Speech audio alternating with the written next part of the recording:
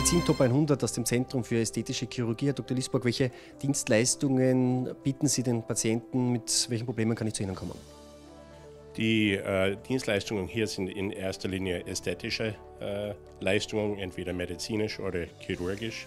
Sie sind bekannt als Zentrum, als Kompetenzzentrum, auch was die Haare anbelangt.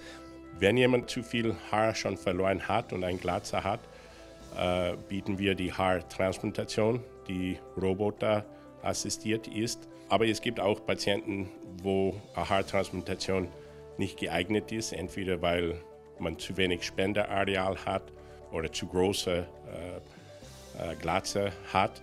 Nachher können wir die Haarimplantation mit künstlicher Haare anbieten. Sie gibt es in Klagenfurt und in Wien. Äh, richtig. Äh, der Roboter steht in Klagenfurt. Die äh, andere Haartherapien bieten wir in Wien genauso an.